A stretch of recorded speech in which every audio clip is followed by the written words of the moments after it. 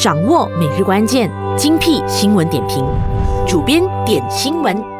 星期三下午好，欢迎收听今天的主编点新闻，我是佩玲，我是志峰。敦马上个星期五宣布呢，自己兼任了这一个教育部长之后呢，大家都很关心，说他的第一炮是什么？有没有什么教育改革的方案，或者是一些大蓝图呢？那今天网上呢就流传着一封署名教育部学校管理组 BPSH 的主任呢莫哈默加米尔，他就在一封呢日期一月十四号，就是昨天哦，发给各州教育局主任的这个信函中呢，就有阐明。教育部认为呢，校方有必要展开学生穿黑鞋政策的研究工作。啊，这一份呃公函呢，是否意味着校鞋又要换颜色了吗？从黑变白吗？那这个消息可靠吗？新闻来源呢是马志里之友的面子书，他先上载这份公函，那么借着媒体呢就跟进报道这个事情。那么校鞋的颜色不管是黑或者是白，都有很高很大的新闻价值。这是前校长马志里留下来的课题。刚巧这个消息呢是由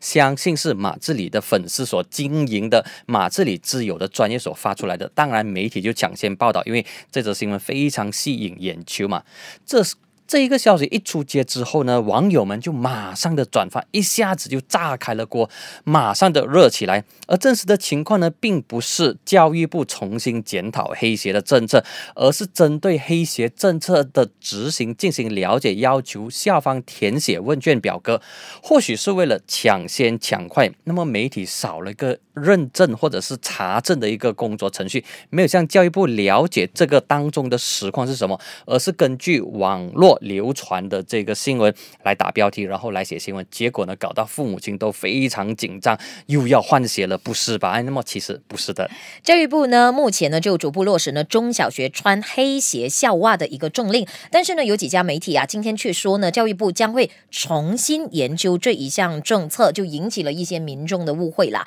那教育部一名官员呢，今天就向当今大马呢澄清，就说呢，网络上流传的刚刚我们提到的这一封信函，只是教育部呢就要求。由校方填写问卷，以便呢帮助教育部呢取得实行黑线呃这一个呃黑色鞋袜政令的一个数据了。那这一项问卷呢，并不是要重新检讨呢这一个黑校鞋袜的政令，只是为了了解学校呢在实行这一项政策的情况而已。关键说的非常清楚，不是重新研究或者检讨，因此政策没有改变，还是维持原本的黑鞋跟黑袜。因为政策在调整或者修改之前呢。通常都必须要有一个研究的阶阶段，如果研究没有的话呢，就不会进行改变了。而且这只是一个问卷调查而已，看看自从这个黑鞋黑袜政令推行之后呢，学校的反应是如何。教育部想要借着这一个调查呢，来取得学校阶段性实行黑校鞋的一些数据，因此校方呢必须要在一月三十一日之前，就是还有两个星期来填写这份问卷。嗯，这个信函呢是说明了教育部从二零一九年到二零二一年呢将会逐步推行呢黑色校鞋校袜的一个政令，因此呢教育部就认为说呢有必要呢展开实行调查问卷，以便呢取得校方实行这一个政令的一些数据啦。那教育部呢就要求校方呢通过网上填写问卷，并且呢必须要在一月二十二号之前完成的。那不管怎么样啦，这个信函里面呢其实完全没有提到教育部将会重新检讨这一项政策的。字眼。根据当今大马的报道，有多家中文报的网站呢，就包括了《新洲日报》、《东方日报》、《光华日报》和《中国报》，都有报道这一则新闻，指教育部将重新研究黑校鞋的政策。那么较早之前，马来媒体《每日新闻》也做出类似的报道，不过呢之后就改正他们的标题。媒体关注校鞋的新闻呢是可以理解的，因为这关乎到学校、学生还有家长，特别还包括另外一名人物就是马哈迪。那么校鞋的议题呢，比教育改革更受关注，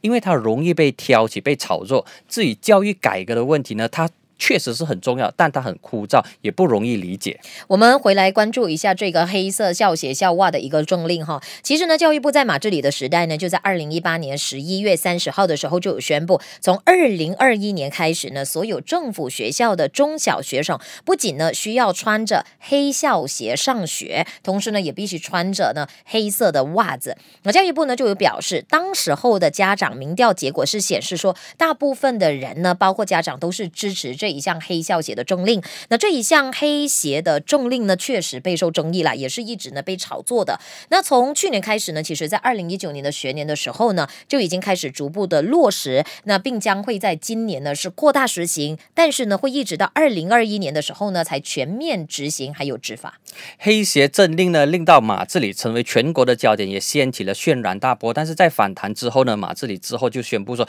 黑鞋政策呢将会暂缓执行。那么从去年开始呢，学生们就可以获准有弹性的选择要白鞋还是要黑鞋，但是不能够一只脚白一只脚黑了哦。那么直到明年才全面的落实这项政策。那么这项政策呢，也导致许多商家因为白鞋的库存量太多，而被迫进行抛售，降低价格把白鞋卖出去。而马志里呢，在这一个课题上，他处理的确实不好。那么他在今年年头的时候呢，就在毫无预警的情况之下，突然间辞去了教育部长的职位，由马哈迪来占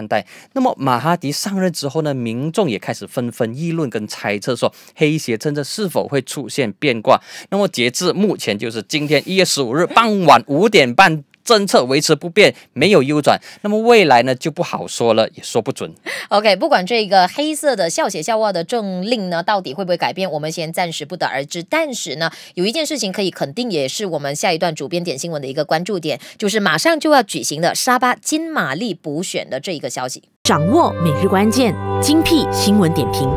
主编点新闻。